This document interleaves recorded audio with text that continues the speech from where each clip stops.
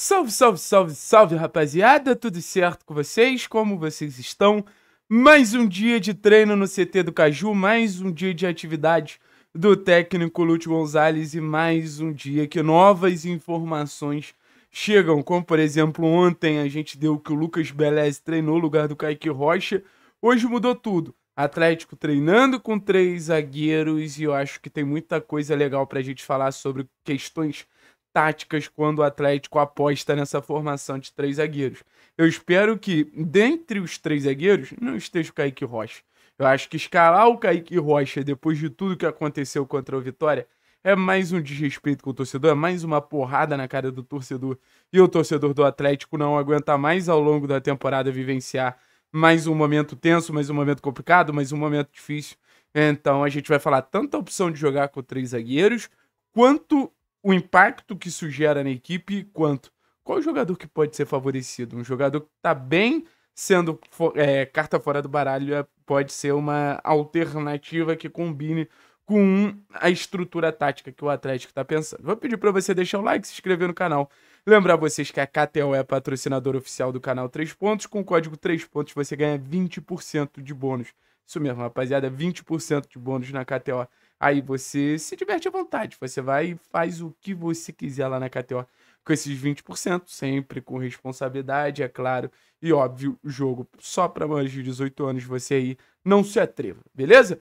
QR Code na tela. Então, beleza, o Atlético vai é, enfrentar o São Paulo no esquema de três zagueiros. E eu acho uma decisão acertada. Eu acho uma decisão que precisa ser por aí mesmo.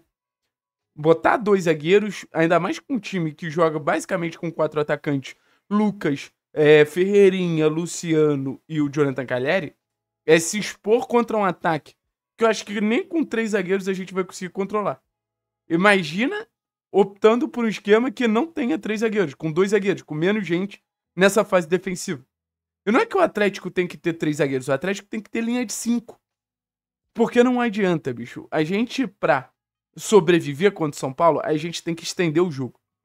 Se o São Paulo faz um gol cedo, dá para dizer que o jogo acaba cedo. O Atlético, infelizmente, ele chega nessa reta final de campeonato com um time com poder de reação zero. Então a gente tem que se defender, tem que trancar, estender o máximo o jogo para que o gol do São Paulo não aconteça ou demore o máximo a acontecer. Com esse gol demorando a acontecer, o Atlético vai ter chances de tentar fazer alguma coisa no ataque.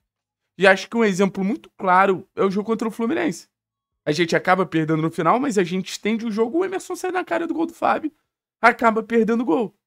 Mas eu acho que, assim, duvidando completamente do nosso setor de zaga. Acreditando que o nosso setor de zaga não é compatível ao que o Atlético precisa disputar nesse momento da temporada. Eu não tenho dúvida disso e não quero questionar isso. Nossos zagueiros são ruins. Mas é aquilo. Três zagueiros, um vai se protegendo, um vai cobrindo o outro, um vai se posicionando de maneira que o outro, pô, se sinta um pouquinho mais confortável. E a gente vai tentar anular o ataque de São Paulo, anular o ataque de São Paulo, estender o jogo. Porque não tem muito o que fazer, gente. Não tem muito o que fazer. Ir pro all-in, eu não sei se ainda é o momento. Porque se toma outra porrada do São Paulo, e, e, e claramente pode tomar, mesmo com três zagueiros, eu acho que é mais um baque no que mais nos afunda hoje, que é o emocional dessa equipe. Eu poderia falar da incapacidade da defesa do Atlético com tranquilidade. Poderia falar com tranquilidade, mas o ponto não é só esse. O ponto é um time emocionalmente desgastado. Então, assim, só potencializa o fato da nossa defesa estar numa fase extremamente frágil. Só potencializa o fato da nossa defesa estar num momento extremamente complicado. Então, assim, eu espero que não venha o Kaique Rocha. Jogar com três zagueiros para mim é de boa. A única questão que, pô, me, me, me, deixaria chateado é ver o Kaique Rocha de novo. Pode vir com o Beleze, pode vir com o Marcão, pode vir com o Thiago Heleno, pode vir com o Gamarra, pode vir com o Arthur Dias, pode vir com algum jogador improvisado. Só que eu acho que o Kaique não dá mais. Depois de tudo que ele fez nesse ano, o Kaique não dá mais. Ah, Thiago, mas você tá descartando o jogador.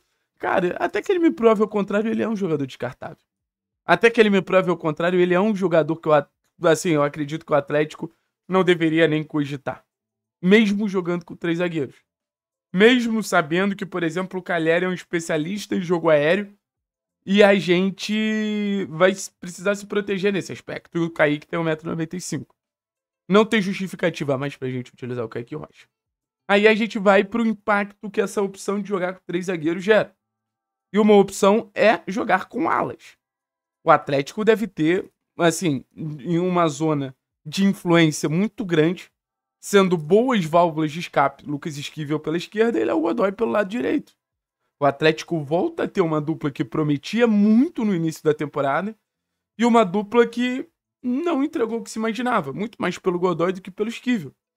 Mas assim, contra o São Paulo, da mesma maneira que a gente precisa ficar atento a Ferreirinha, Igor Vinícius, aos jogadores de amplitude do São Paulo, eu acho que é uma boa alternativa de saída que o Atlético tem para o campo de ataque. Utilizar os alas para fazer essa transição ofensiva. Utilizar os alas para tentar atacar as costas da última linha do São Paulo. A famosa fatia dita, né? Principalmente quando o Fernandinho entrar no jogo, que isso vai acontecer. Já o Lucas Esquivel, um jogador com cruzamento muito potente. Já o Lucas Esquivel é um jogador com muita capacidade de criar situações. Assim, é óbvio que oscilou ao longo da temporada, assim como todos os jogadores. Mas eu vou para esse jogo, ainda mais quando a gente não tem um Coelho, que é um dos jogadores que mais cria chance no Campeonato Brasileiro, apostando meio xixi no esquivel. Seja chegando na linha de fundo para cruzar, seja fazendo aquele cruzamento de intermediária, seja fazendo presença no campo ofensivo para associar. Eu acho que as associações do esquivel são de um nível muito legal. Então, assim, vejo o Lucas Esquivel como uma alternativa ofensiva muito importante, ainda mais quando a gente joga com três zagueiros. E quando a gente fala em jogar com três zagueiros e jogar com alas com liberdade, o que, que a gente imagina? Cruzamentos. O que, que a gente imagina? Bola na área. E assim, eu prefiro que o nosso ataque seja Emerson e Julimar. Eu já deixei isso, isso bem claro. Mas assim, a provável zaga do São Paulo Alan Franco, 1,84, 1,84m. 57% de aproveitamento nas jogadas aéreas. O outro é Sabino, 1,82m.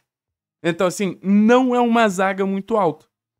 A gente vai ter dois alas chegando para estar na condição de cruzar bolas.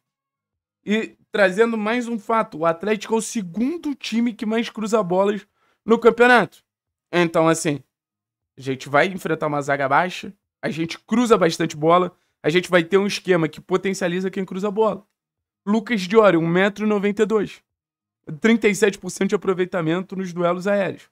Para você ter noção até onde eu consegui descobrir, o Flaco Lopes tem 47% e é o melhor dos atacantes do Campeonato Brasileiro.